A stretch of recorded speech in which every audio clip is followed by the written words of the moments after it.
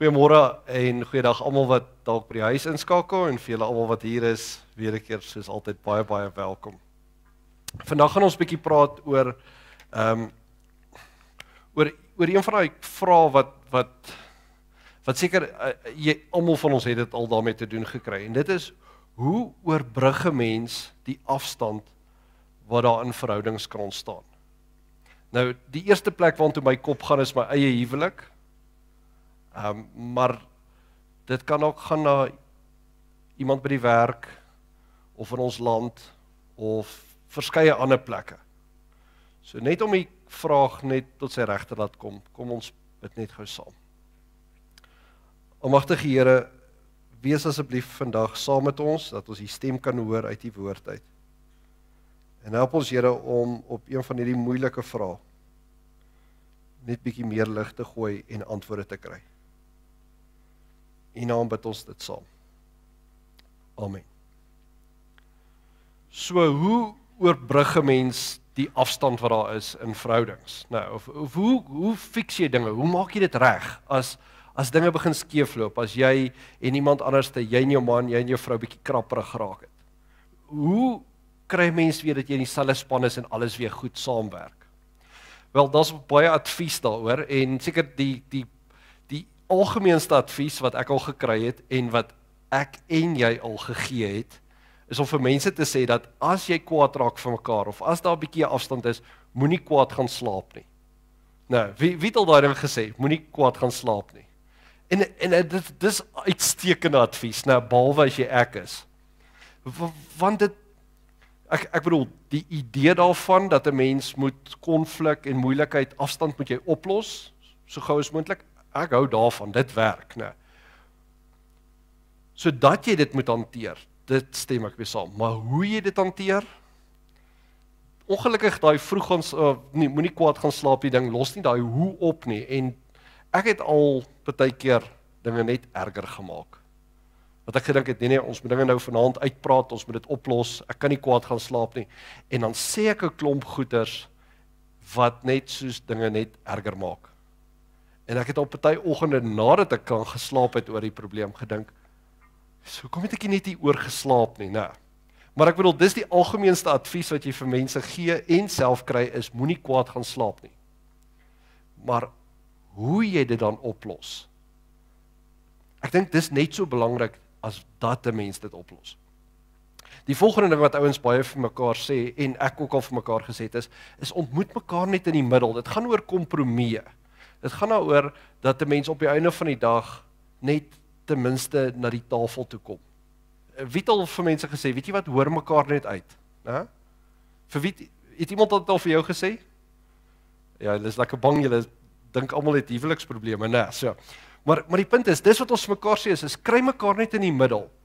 Ontmoet mekaar net en en ek bedoel dis dieselfde benadering wat 'n mens kry ehm um, van 'n besigheid af wat vir mediasie gaan tot by die Verenigde Nasies wat saam besluit oor klimaatsverandering is kry mense net by my, by die tafel dat ons hierdie dinge net kan uitpraat. Tot in die hof sê hulle net kom ons kry net ergens dan mekaar in die middel sodat ons net almal se standpunte en opinies kan hoor en dan kan kan besluit wat se vorentoe gaan pad wat almal in ag neem. Nou die moeilikheid met dit is dit werk nie vir my nie ek is nie altyd gelukkig met die resultate wat ek kry as ek 50% moet gee nie. Nou as as ek iemand anders in die middel moet kry en ek weet ek's reg, dan beteken dit ek's 50% verskeerd verkeerd ewe skielik terwyl ek 100% reg was voor hierdie ding begin het. So ek sit also op die einde van die dag en natuurlik, nou het ons 'n middelgrond gekry en ons het 'n pad vorentoe gekry, maar ek's nie regtig gelukkig nie. Dis nou ek moes verloor het in 'n mate om hier uit te kom. En en ek hou nie daarvan nie want vir 'n paar redes. Die, die frustrasies wat ek baie keer ervaar deur mense in die middel te kry is waar presies is die middel? Waar's daai 50-50? Nou hoe hoe weet ek wat 50% is? Want nou dis dis baie keer die grootste argument is om uit te vind net waar presies is die middelgrond. En die tweede ding is, baie keer kom 'n ou dan en jy sê, "Wel, ek gaan jou in die middel ontmoet." En dan kom so intoe en dan kom die ander persoon nie middel toe nie. En dan sit jy daarso, jy het nou al klaar toegegee. En nou sit hulle daarso asof hulle al die kaarte vashou en jy moet nou maar hulle speletjie speel want hulle besluit dan verder. Hulle dikteer die proses verder vorentoe. Met ander woorde, hulle hou jou gijslaer om met die konflik op te los terwyl jy al klaar middel te beweeg het en hulle sê o nee, dis nie die middel daai nie. Skuif nog. En op die einde van die dag is dit die frustrasie. So een van twee goeters gebeur. Een is of ek is nie seker dat ek op die ouend op 'n beter plek staan nie of twee, die proses is nie in my hande nie en ek kan dit nie afhandel nie. Dit hang die heeltyd af van iemand anderste wat ook 50% gee. Het jy al hierdie frustrasie ervaar by die werk waar jy die helfte probeer gee en iemand anders te sit terug en sê dis nie die helfte nie? Of hulle sit daarso en hulle speel 'n speletjie met jou omdat jy nou die eerste een is wat toegegee het. Ek voel dit is frustrerend. En op die einde van die dag ek voel dit steel ou se vreugde. Want hoekom moet jy nou 70% gee want ewe skielik skuif daai daai grens net. En jy kry dit nie afgehandel op die eie nie. En en dis die ding hierso vandag. As ons praat van hoe oorbrug mense die afstand in verhoudings, dan moet daar tog iets beters wees as moenie kwaad gaan slaap nie en kry mekaar in die middel. Daar moet iets beters wees. En ek dink daar is. Ek het nou nogal ietsie in die Bybel raak gelees. Ehm um, en en dis 'n baie baie bekende gedeelte. Maar dis 'n gelaaide gedeelte en ek dink die gedeelte sit so half alles in 'n ander perspektief. En het die vermoë om al die frustrasies op te los wat 'n mens kan ervaar deur mense in die middel te probeer ontmoet. Nou die gedeelte wat ek vir ons wil lees kom uit die Nuwe Testament uit. Dis die stukkie wat spesifiek praat oor Jesus en die koninkryk wat hy kom stig het. Die goeie nuus wat hy kom deel het. En ek wil vir ons lees hierso uit Johannes 3 uit. Nou op my Bybel is dit in my Bybel is dit bladsy 125. En as daar 'n Bybel naby jou is, dis nie iemand se nie, jy's welkom om saam te volg ook. So dis in die Nuwe Testament. Soos meer na die agterkant toe. En dit vertel van Jesus en sy volgelinge wat net hierdie goeie nuus in perspektief kom sit. Nou ek wil vir ons daarso lees van Johannes 3 af van die begin af.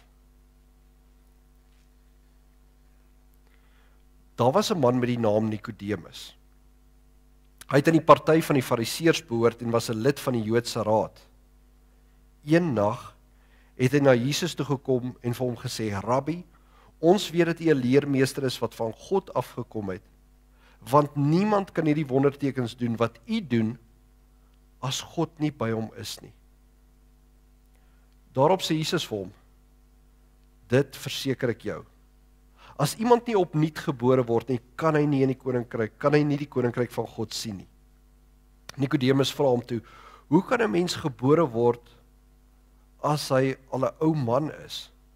Hy kan tog nie 'n tweede keer in sy moeder se skoot kom en gebore word nie. Jesus antwoord het het hom ge, het geantwoord: Dit verseker ek jou as iemand nie uit water en gees gebore word nie, kan hy nie in die koninkryk van God kom nie. Wat uit die mens gebore is, is mens en wat uit die gees gebore is, is gees. Moenie verbaas wees dat ek vir jou gesê het jy moet opnuut gebore word nie. Die wind waai waar hy wil, jy hoor sy geluid, maar jy weet nie waar hy vandaan kom en waarheen hy gaan nie. En so gebeur dit met elkeen wat uit die gees gebore is.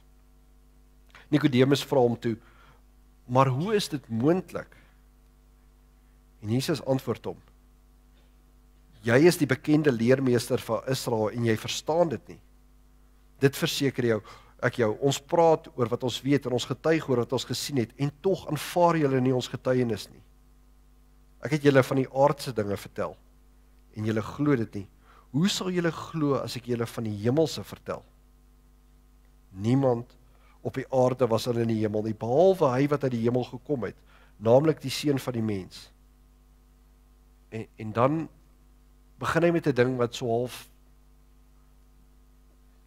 nog meer random klink Moses het die slang in die woestyn hoog op 'n paal gesit en so moet die seun van die mens verhoog word sodat elkeen wat hom glo ewige lewe kan hê.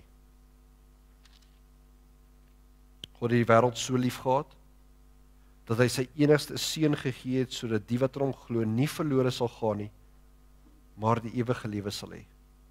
God het nie sy seun na die wêreld toe gestuur om die wêreld te veroordeel nie, maar sodat die wêreld deur hom gered kan word. Wie in hom glo, word nie veroordeel nie. Wie nie in hom glo nie, is reeds veroordeel omdat hy nie die enigste seun van God glo nie. En so kom die skeiding. Die lig het na die wêreld toe gekom en tog het die mense eerder die duisternis as die lig liefgehad want hulle dade was sleg. Elkeen wat kwaad doen, haat immers die lig en kom nie na die lig toe nie sodat sy dade nie aan die kaak gestel moet word nie. Maar wie volgens die waarheid handel, kom na die lig toe. Sodat dit duidelik kan blyk dat sy dade in gehoorsaamheid aan God gedoen is. Ons lees net hierdie gedeelte. Nou as jy nou gesit en luister het soos wat ek ook het om te sê okay goed, wat is die alternatief dan? Hoe oorbrug 'n mens die gaping in 'n verhouding? En jy het nou die hele storie geluister van Nikodemus wat na Jesus toe kom, van weergebore word en 'n slang op 'n paal. En jy sit hierso en jy sê, "Wel, ek het nog steeds nie 'n antwoord nie." Moenie bekommer nie. Hierdie gedeelte probeer nie vir 'n mens sê hoe om ons vraag vandag te antwoord nie. Maar wat hy sê wat agter dit aan die gang is, gaan ons help. Maar eers moet ons praat oor wat is hier aan die gebeur. Nou Nikodemus was 'n fariseer gewees. Fariseërs is die ouens wat geglo het dat 'n mens se lewe moet regtig getuig daarvan dat jy 'n volgeling van die Here is. En hulle was baie hard op dit gewees. Baie hard op die uiterlike tekens van hoe lyk jou lewe. So half asof jy vir God in die middel wil ontmoet met die redding soos jy, moet daarom reg leef ook as God jou waarheid. En hy kom in die nag na Jesus toe. En hy begin dadelik om te sê dat Rabbi, leermeester, ons weet u is van God af gestuur. Ehm um, want niemand kan hierdie wondertekens doen wat u doen as God hom gestuur het nie. En dan is dit asof Jesus die gesprek net so draai. Want ewe skielik verander Jesus so half die onderwerp van die gesprek. Hy, hy, hy Nikodemus is nog besig hier om te praat van Jesus wat van God af gestuur is en dan val Jesus met die deur in die huis en hy sê kom kom ons kom ons kom by die punt uit. Jy kan jouself nie red nie. Jy kan nie. Dis die punt van dit alles. Is jy kan jouself nie in die hemel in presteer nie. Jy het dit nie in jou om God eers 50% te ontmoet nie. Ons mense het dit nie. En en dan vra Nikodemus nou, hoe kry mense daar reg dat jy gered kan word? En dan sê hy jy moet weergebore word of om dit anders te, te sê, God moet jou nuut maak. God moet die werk doen. God moet die afstand oorbrug. So hierdie gedeelte probeer nie vir ons sê hoe maak jy jou huwelik reg nie. Dit probeer nie vir ons sê hoe herstel jy dinge by die werk nie. Dit probeer nie vir ons sê hoe herstel 'n mens dinge in die land nie. Dit probeer vir ons sê eintlik in 'n neutedop God wil jou red en jy kan jouself nie red nie. God is goed. En hy's lief vir jou. En dis die dinge wat tel vir jou redding, is die liefde wat God vir jou het, is hy kom na jou toe.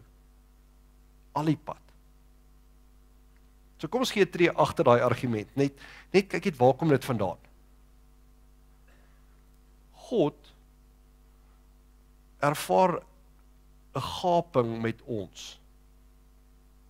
En hoe herstel hy dit? Wel, nie om ons in die middel te ontmoet nie. Hy kom 100% hiernatoe. Hy word 100% mens. Hy stel sterf selfs vir ons sonde. So met ander woorde, God ontmoet ons nie in die middel nie. Hy gaan all the way. Hy gaan 100% die afstand om ons te ontmoet. Hy kom haal ons waar ons is. Hy kry ons nie in die middel nie. Ongelooflik. En dan kom die slang op die paal deel wat ons hierso ook het. Nou dis 'n verwysing na 'n stuk in die Ou Testament waar die volk op 'n stadium afgedwaal het van God af. Hulle hulle het weer gesondig en hulle was ondankbaar en goeders en God straf hulle toe. En hy stuur giftige slange tussen hulle in en die slange pik die mense en hulle is besig om dood te gaan daarso.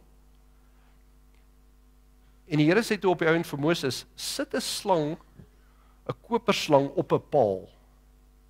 En dan as die mens wat gepik is na die slang toe kyk, sal hulle gesond word.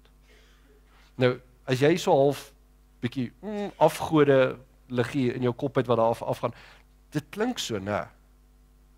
Ek bedoel, nou moet jy ewe skielik vir 'n slang kyk en dan word jy gesond.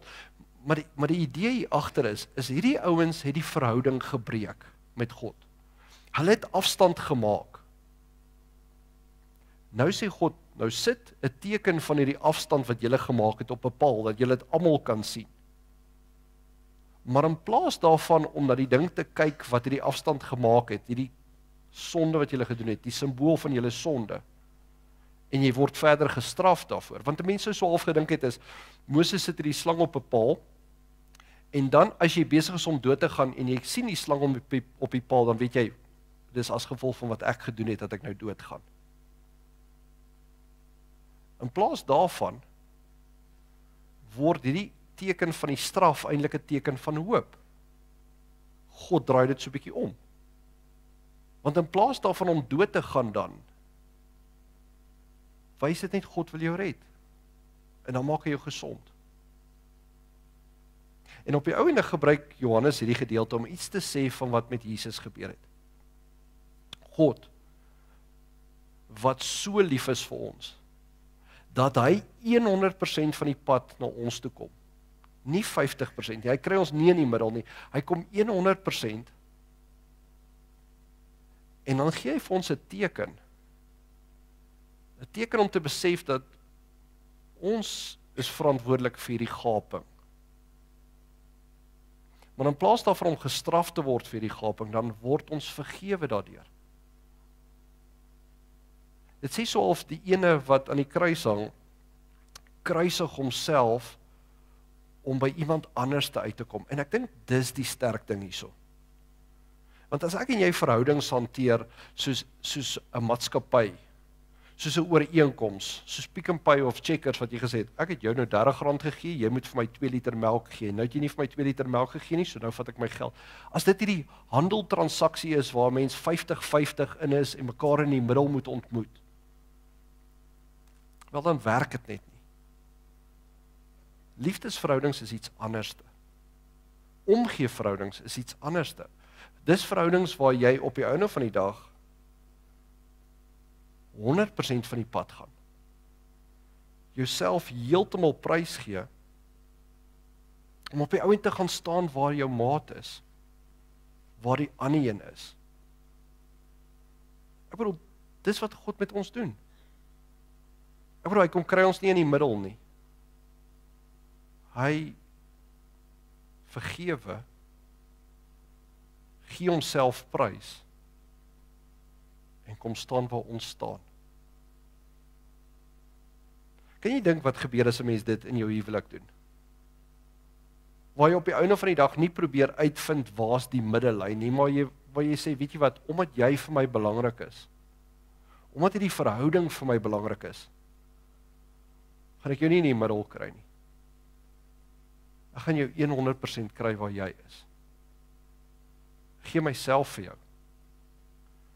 Want jy is vir my belangriker as waaroor ek ons ons nou ook al stry. En dit lyk vir my dis wat God met ons doen. Is hy gee homself vir ons 100% en sê jy is vir my belangriker as wat ook al ons oorstry wat hierdie afstand gebring het. En en Johannes sê dit op daai mooi manier wat ons almal so goed ken.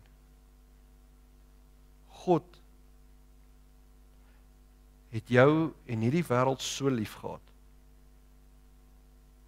dat hy sy enigste seun gegee het sodat die wat in hom glo nie verlore sal gaan maar die ewige lewe sal hê. sien dis wat God doen is hy gaan al die pad En as ek en jy sit in verhoudings en ons probeer 50% doen, dan word dit hierdie magspeletjie oor waar is die middellyn en is albei by die tafel. Maar as jy jouself net gee vir iemand anderste, dan is dit nie eens afhanklik van hulle nie. Jy kan jouself net gee vir hulle. Jy kan hulle ontmoet waar hulle is. En ek dink as ons iets by Jesus wil leer is, is dis die manier hoe jy vir mense wys dat jy regtig omgee. Is deur nie regverdig te probeer wees nie. Maar deur jouself te gee vir hulle. Nou ek weet jou toe ek hierdie boodskap so skryf, toe sit ek en dink, oef, ek sukkel nie regtig gemaklik hiermee nie, want wat van as ek misbruik word? Nou, ek sien 'n paar van julle glimlag, so julle dink dieselfde ding.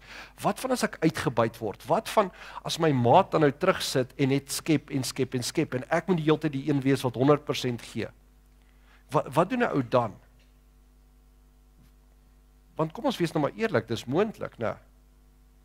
En hoe 'n mens dit veral weet is moontlik is dis baie keer wat ons met God doen. Hy gee homself so volkome vir ons.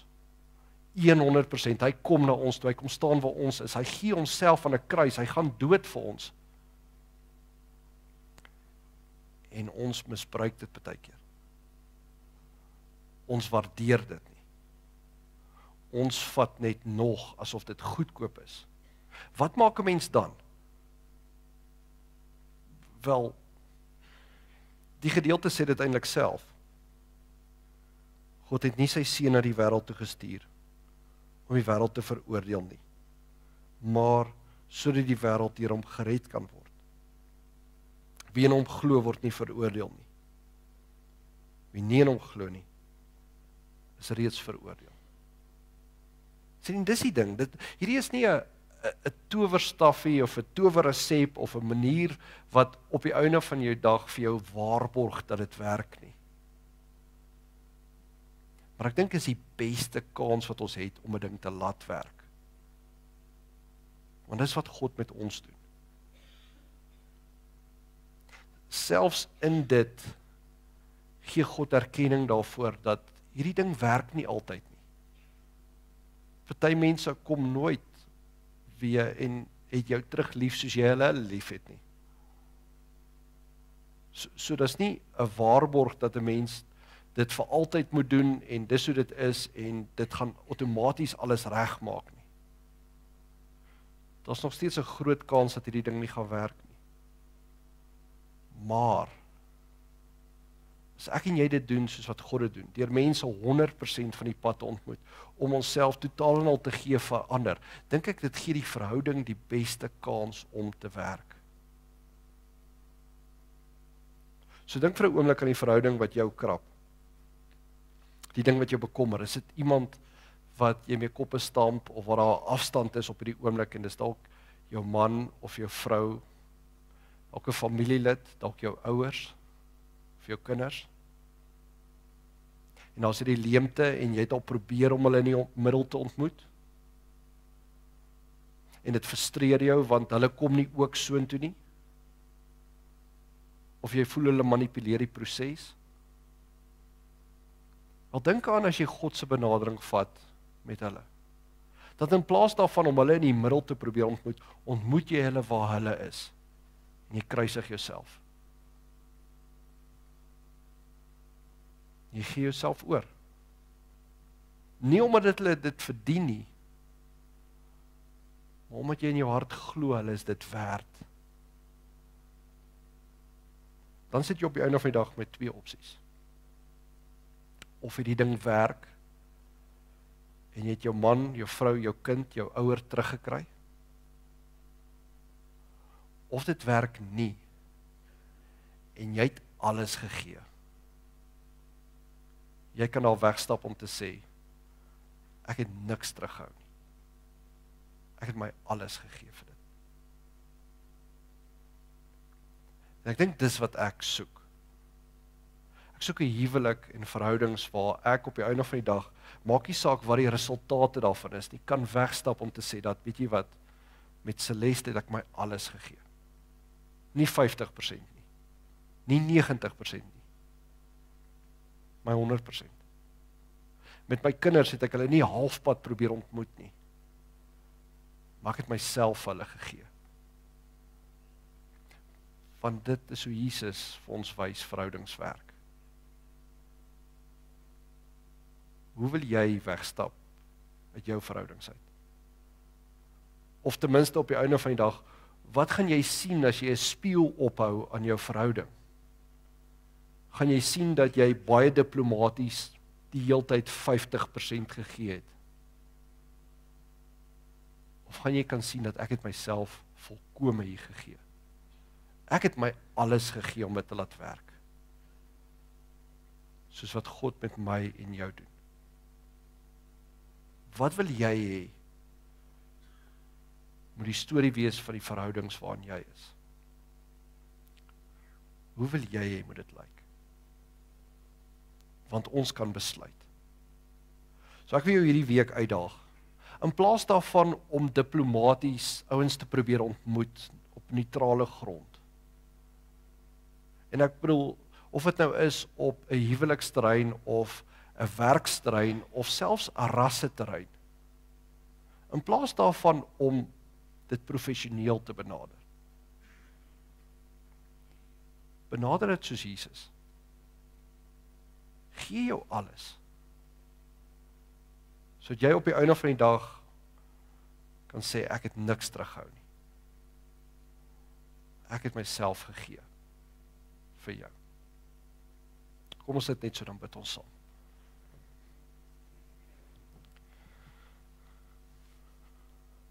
Almagtige Here, ons leef baie keer so in spanning omdat ons bang is ons verloor onsself. En omdat ons so bang is ons verloor kere dat ons nie kan wen nie nie die vryheid en die liefde en die energie kan ervaar wat U vir ons gun in verhoudings nie. Help ons asseblief Here om hierdie week onsself vir U te gee soos wat U self vir ons gegee het. En help ons asseblief om hierdie voorbeeld ook uit te leef teenoor ons maats, teenoor ons familie, vriende en ander mense ook, Here dat ons op die einde van die dag as die spieël opgehou word kan sê ons het ons alles gegee. Ons was soos U. U naam bid ons dit saam. Amen. Baie dankie vir die ouens wat ingeskakel het en 'n um, lekker dag verder.